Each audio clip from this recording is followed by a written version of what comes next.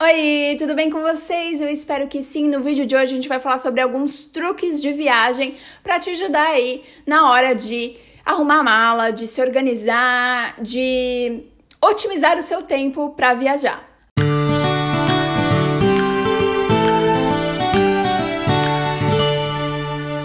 Primeira dica é enrolar as roupas dentro da sua mala ao invés de dobrá-las. Isso vai economizar um espaço gigante na sua mala, vai te dar a sensação e com certeza a impressão de ter mais espaço e não que você precisa levar mais coisa só porque enrolando fica tudo mais prático, mas mostra que dá sim para minimizar ali as coisas que você leva e deixar mais espaço para trazer memórias na sua bagagem, seja roupas novas ou seja em algo, alguns souvenirs, presentes para alguém, enfim, vai ser ótimo. Uma outra coisa para te ajudar a ganhar espaço na sua mala é colocar as calcinhas dentro dos sutiãs ou de tops. Fica muito mais fácil e você otimiza ali um espacinho. Essa dica é de ouro, guardar calçados dentro de saquinhos de TNT ou saquinhos de malha crua. Os calçados eles sempre contêm bastante bactérias, germes, enfim, coisas na sola e não é nada legal você simplesmente jogar ali dentro da mala, mesmo que ele esteja em um compartimento diferente, porque aquelas bactérias vão ficar ali na mala e isso não é nada bom. Então coloca dentro de um saquinho antes de colocá-los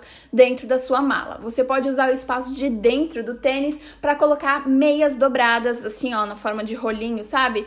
Bolinhas assim, e aí você também economiza um espação, dá para em cada um do seu sapato, dependendo do tamanho do seu calçado, colocar umas três ou quatro pares de meias enroladinhos. Escolha peças que combinem entre si antes de viajar, monte todos os looks, não só na sua cabeça, mas também ali na sua cama e, se puder, prove eles e tire uma foto na frente do espelho, tire uma foto no seu quarto usando eles, ou simplesmente só é, da organização deles, para que isso facilite na hora da sua viagem. Assim você já vai ter uma ideia de quantos looks você pode montar com aquelas roupas que você está levando.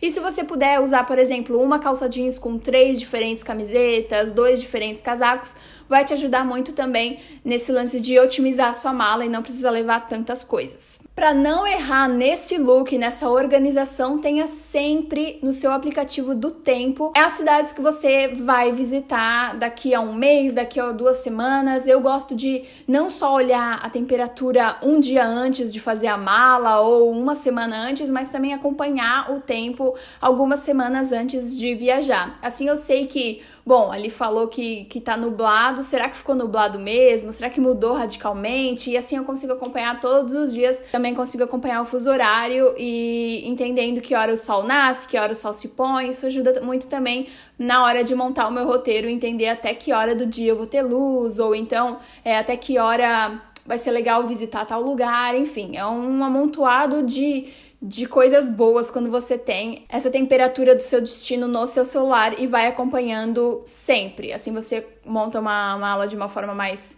inteligente e também consegue acompanhar essas outras dicas que eu comentei com vocês. Uma outra dica bacana é você colocar um pedacinho de papel filme entre a rosca do seu shampoo ou do seu creme favorito e o potinho. Essa forma vai fazer com que essa, essa tampa ela fique mais protegida ainda, mais apertada ainda e vai evitar que ele vaze na sua mala, estrague todas as coisas que tem lá dentro, suje roupa, enfim. Uma outra dica é levar a sua própria garrafa. Se ela for de vidro ou de inox, melhor ainda, mas se ela for de plástico, pelo menos tenha a sua garrafa e leve ela vazia. Você vai conseguir encher a sua garrafa nos bebedouros da maioria dos aeroportos. Depois que você passa do raio-x, você pode sim é, encher a sua garrafa garrafa de água e entrar com ela no avião não tem problema. O, o problema tá em ter uma garrafa de água cheia antes de passar pelo raio-x. Uma outra dica que parece ser bem boba, mas não é, é leve uma caneta junto com você na sua bolsa de mão ou na sua mala de mão. Porque sim, você vai precisar preencher os formulários de imigração quando você, principalmente quando é um voo internacional,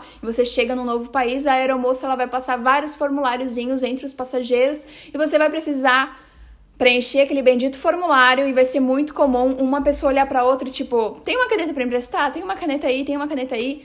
E eu já passei isso algumas vezes. E por último, mas não menos importante, escaneie os seus documentos e mantenha eles no seu e-mail. Pode manter em PDF dentro do seu das pastas de arquivos do seu celular caso você não precise ou não tenha internet no seu destino.